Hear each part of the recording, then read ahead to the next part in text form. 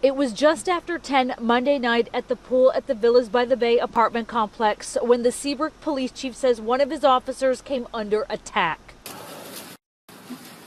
Cell phone video shows the officer struggling with a man, then body slamming him. A female juvenile then punches the officer from behind.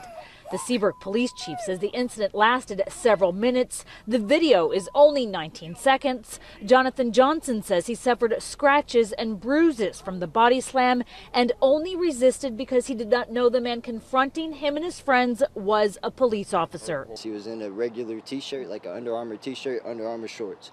No badge, no indication of a law enforcement officer at all. Johnson and his friends were admittedly at the pool after hours. Seabrook police say the officer was asked by the complex management to get them out. He was in plain clothes. The chief says he identified himself as an officer. Johnson says he didn't and would have never touched him had he known. No, of course not. Who in their right mind would? I respect the law. I do. I thought he worked for the apartment or something, and so I was I was like literally, I was like, why are you overreacting about this? I either thought he worked for the apartment or I was getting robbed.